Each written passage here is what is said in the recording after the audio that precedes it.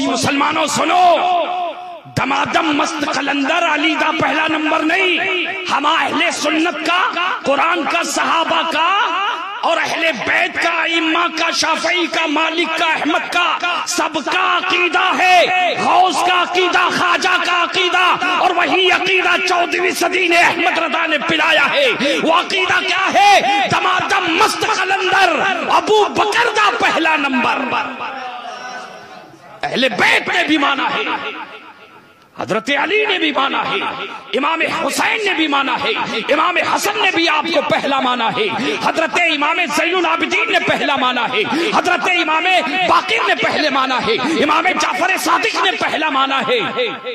तो हम भी पहला मानेंगे।